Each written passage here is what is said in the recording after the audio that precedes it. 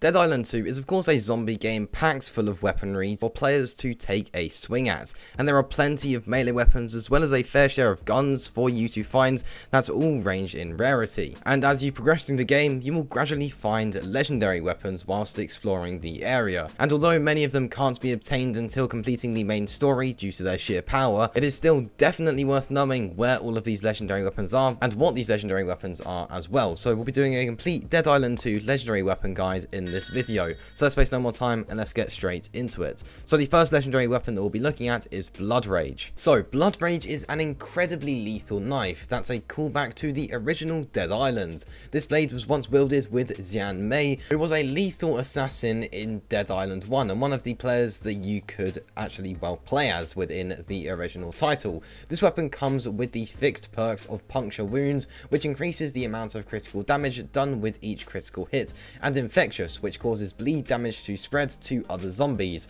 Besides this, the modification on the legendary weapon is also locked. This is a superior melee puncturing mod that increases the amount of bleeding damage it does to a zombie. So, how do you get this? Now, you'll be able to earn this weapon by completing the Lost and Found quest located in the Lifeguard HQ on the pier.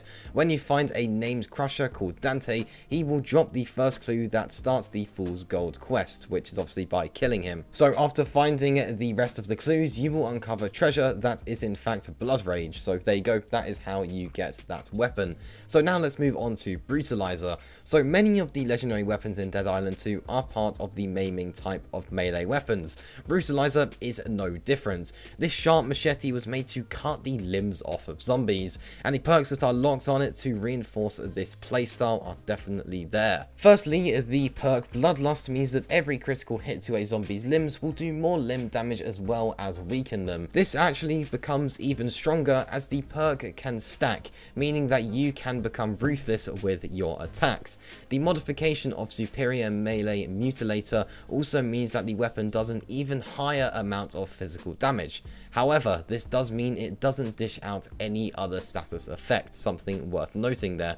So let's go over how to get it. The Brutalizer is one of the most long-winded legendary weapons for you to get your hands on. This is because you must complete the entirety of the body art side quest. You will first need to complete both the other two side quests in Beverly Hills before the artist will actually appear. And as you unlock new Apex variants, this artist will require new limbs to complete her work of art, and once her project is complete, she will give you this maiming weapon. So there you go, that is how you can get the Brutalizer and how it works within Dead Island 2. So let's move on to Big Shot. Now there are only two legendary guns in Dead Island 2, but they are both a necessity of your artillery for how fun they are to use and how incredibly lethal they are too. Big Shot, the demolition style pistol, is the first one that you will likely unlock. Although it may look like a pistol, Big Shot takes a shotgun rounds due to how hard hitting it is. With the perk Boomstick, these usual shots cause explosions that have the chance of traumatizing the zombies, which will actually stun them. Now you shouldn't really reload it too quickly, as the fewer bullets in the gun, the more damage it is likely to do. So let's go over how to get this gun. You won't be able to earn big shots until the end of the main storyline. Chances are if you haven't have watched this, then you might actually have missed it due to not realizing there's actually quite a lot more to do within the area after the main story. So when returning to Emma's mansion, there should be a new side quest called It's Not Your Fault. During this quest, you will be forced to back down into the sewers to collect seismic readers. Once completing the quest, you'll be rewarded with the gun. So there you go, that's how you get big shots within Dead Island 2. So let's move on to Emma's Wrath. Now, bulldozer weapons also have their own legendary weapon, and Emma's Wrath is a large hammer that you actually may have seen Sam B using throughout the story of Dead Island 2. Eventually, this melee weapon finds itself in your own hands, and it is deadly. Besides its intense superior melee impactor mod that increases its physical damage while also having the chance to traumatize the undead, one of the other greatest perks this hammer has is Overkill. When performing a successful skull stomp or counter, the next hit of Emma's Wrath will trigger a shotgun blast with no bullets required. So let's go over how to get it. Now unfortunately you won't be able to get your hands on it until after completing the main story story of Dead Island 2, but it is apparently also too powerful to use in the main story, but I'm sure there's still some fun for you to have with this weapon throughout these side quests when you're slaying all of those zombies. So let's move on to the next weapon, which is Body Count. So the last legendary gun that players can actually get their hands on is the secret weapon of the military, known as Body Count. With a range superior puncturing mod, if the bullets don't kill the zombie, the bleeding status effects it causes definitely will. This bleed damage can be spread to other undead through the fixed perk of Exit Wound, as well as each kill using the gun increases your damage further. So let's go over how you can get your hands on it. So once again, Body Count is a legendary weapon that unfortunately you won't be able to find until you have completed the main story missions of Dead Island 2. When returning to the military barracks of Venice Beach, you will find a named zombie called LT Ford.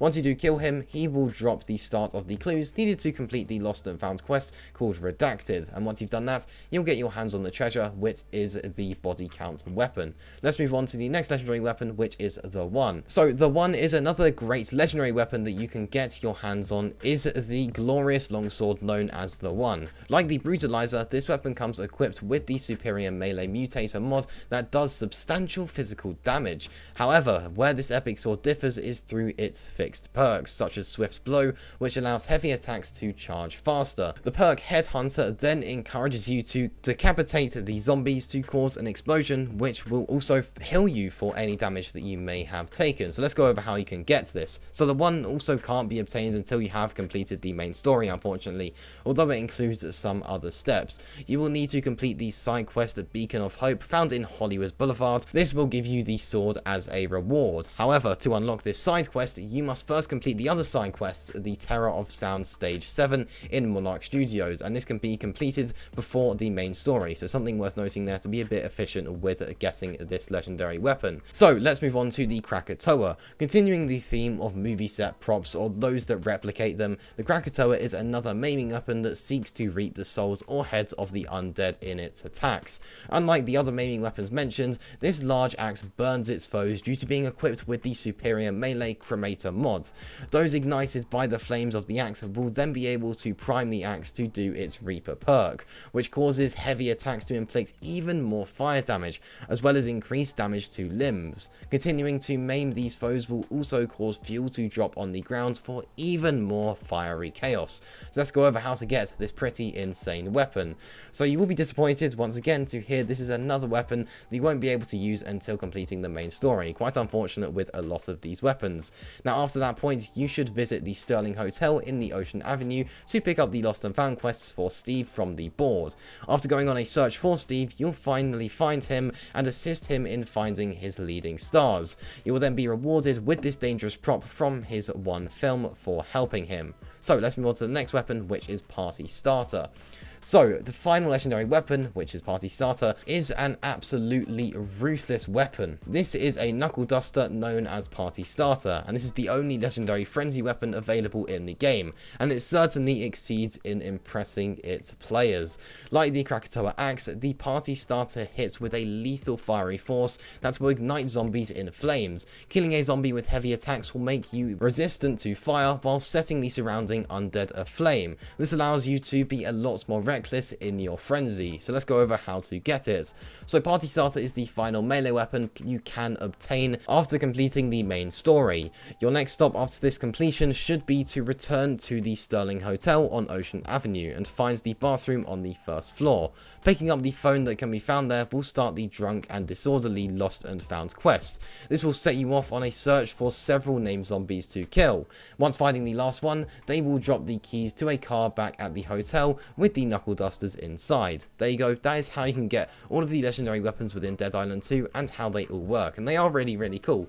The only disappointing thing is that pretty much all of them will only be available once you have completed the main quests, but of course that is just because they are too powerful, so at least you get to have some fun with them during side quests once you have finished the main story missions. So maybe it is worth saving some of these side quests until after the main story missions so that you can enjoy using the legendary weapons for something that is somewhat useful. But there you go, that does just about wrap up things here. Now, on screen now, you are seeing a link to a video where I do a complete beginner's guide to Dead Island 2. So hit the link on the screen if you are interested in watching that.